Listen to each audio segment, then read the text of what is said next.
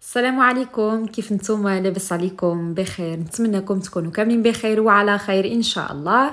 معكم إيمان من قناة شيوات مع إيمان. صلي على النبي كيف ما العادة عن نبداو الفيديو اليوم. اللهم صل وسلم وبارك على سيدنا وحبيبنا محمد وعلى آله وأصحابه أجمعين.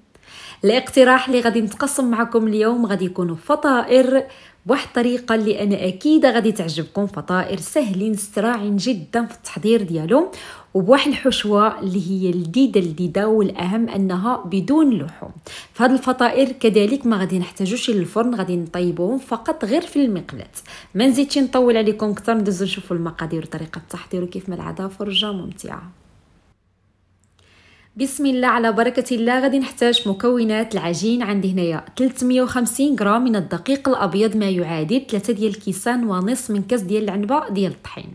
ضفت على الدقيق الملح اللي كيبقى على حسب الذوق. ملعقة صغيرة من السكر الخشن ملعقة صغيرة من الخميرة الفورية أي خميرة ديال الخبز أو خميرة معجونة.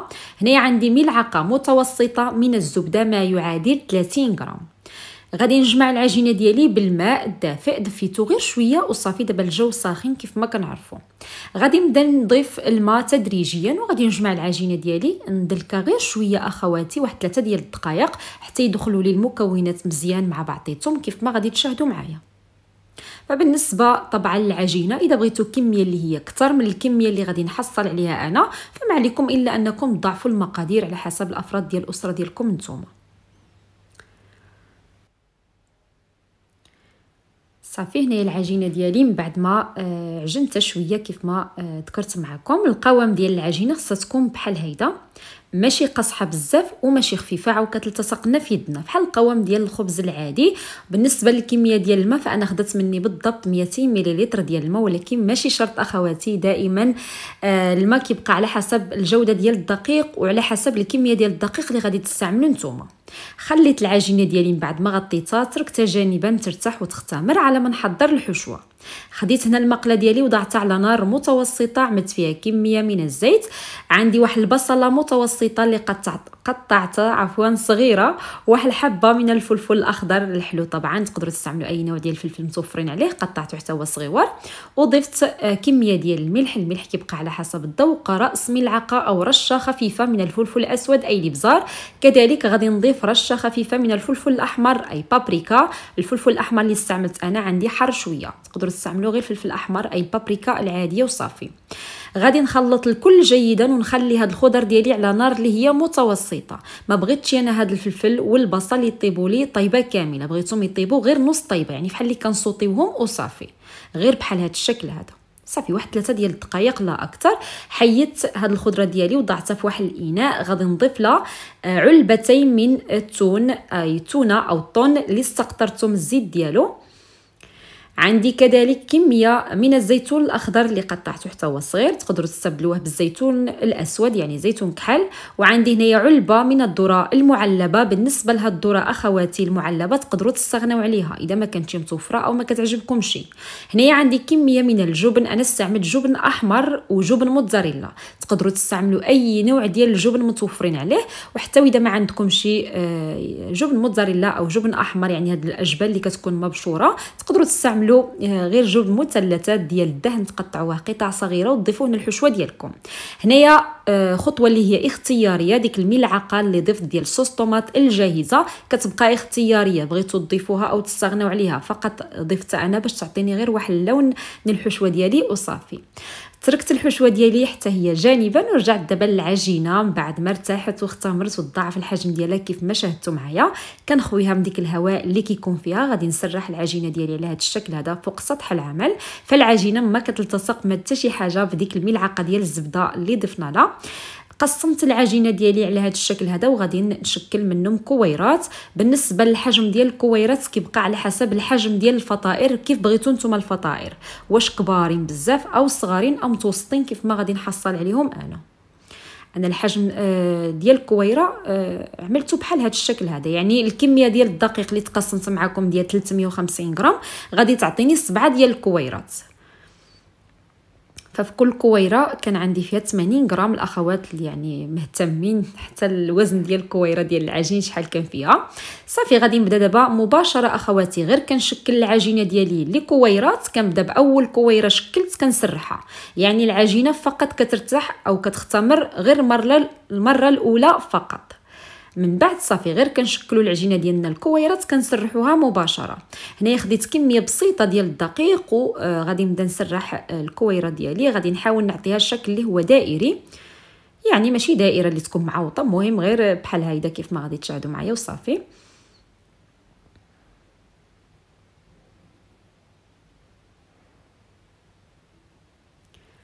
صافي غادي نحاول نعوض الدائرة ديالي غير بيدي بحال هيدا وغادي نجيب كمية ديال الماء باش غادي نوضعها في الوسط هاد الدائرة.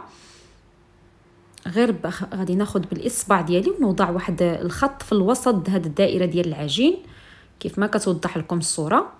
وغادي نطوي أو غادي نشد الدائرة ديالي باش تصبح لي نصف دائرة وغادي نضغط على ديك الخط ديال الماء اللي في الوسط باش آه، تلصق أو تفيكسا العجين مزيان مع بعضيتها ونقطع بالسكين اولا بهاد الأداة اللي كنقطعوا بها البيتزا ونضغط على ديك الحاشيات مزيان باش العجينة كتلصق مزيان مع بعضيتها.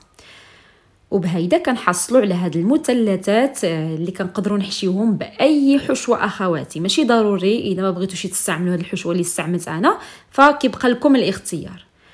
كنحل العجينة ديالي بكل سهولة كيف ما كتشاهدوا معايا وكنعمر وكندخل الحشوة ديالي حتى للداخل ما تخافوش العجينة ما كتحلش ملي كنضغطوا عليها مزيان.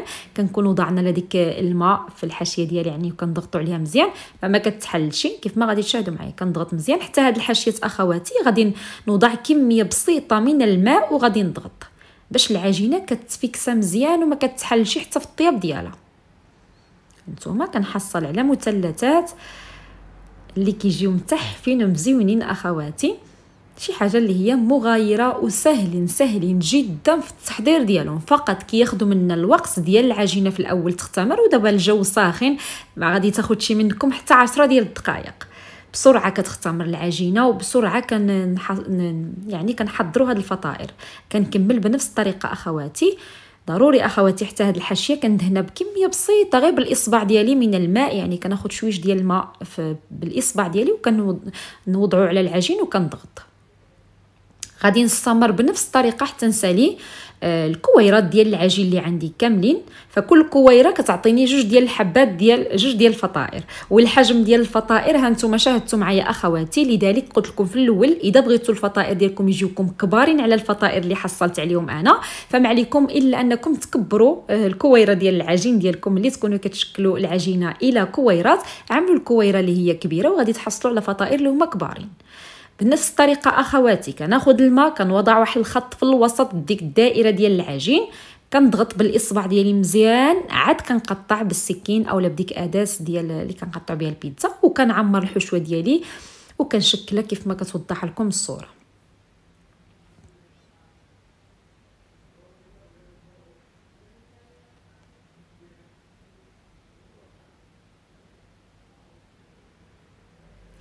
صافي. هنا من بعد ما ساليت الفطائر اللي عندي كاملين سالت لي الحشوة وكذلك العجين. يعني جاتني حده قدا بحال الحشوة بحال العجينة. خديت المقلة ديالي كيف ما ذكرت معكم في الفطائر آه، ما كنحتاجوش ليهم للفرن. ولكن إذا بغيتوا طيبوهم في الفرن فتقدروا طيبوهم في الفرن. غير هو أخواتي يستحسن أنكم تدهنوا لهم الوجه ديالهم يعني بصفر بيضاء وترشوهم هيدا تزينوهم بالجنجلان أي حبوب السمسم اولا حبوب الشيا ودخلوهم للفران. كيجيو حتى هيداك غزلان مزيونين ومحمرين غير يعني الشكل ديالهم كيجي محمر في شكل ماشي بحال هادو ديال المقلة. هادو ديال المقلة ساهلين في الطياب ديالهم وكاين بزاف ديال الأخوات يعني كيبغيو هيدا فطائر اللي يكونوا في المقلاه أو وصفات غير في المقلة ما محتاجوش أنهم يطيبوهم في الفرن. فنتمنى تجربوا هاد الفطائر أنا أكيد غادي يعجبكم بزاف. كيف ما شاهدتوا معايا خديت المقلة ديالي وضعتها على نار اللي هي متوسطة. كندهنها بكمية ديال الزيت باش كتعطيني واحد التحميرة يعني كيجي واحد اللون محمر رائع في هاد الفطائر ومن بعد حتى الوجه ديال الفطائر حتى هو كندهنو بالزيت وكنبدا نقلبهم ديك الحاشيات ديالهم مرة مرة كنبقى نضغط عليهم بواحد الملعقة خشبية باش كيتحمروا مزيان حتى من ديك الحاشيات اللي كيبانوا لكم بحال هذه أنا غادي نقلبها ونبقى نضغط عليها شوية. هذه غادي نبدا نضغط عليها شوية هيدا باش تحمر حتى هي مزيان. صافي وغادي نستمر بنفس الطريقة. كنعاود ندهن المقلة ديالي بواحد الكمية بسيطة واحد الدهنه خفيفة من الزيت. تقدروا آه، في عود الزيت تعملوا الزبدة كيبقى لكم الاختيار أو أنكم ما تدهنوش المقلة ديالكم يعني طيبوهم بدون أنكم تدهنوهم بالزيت.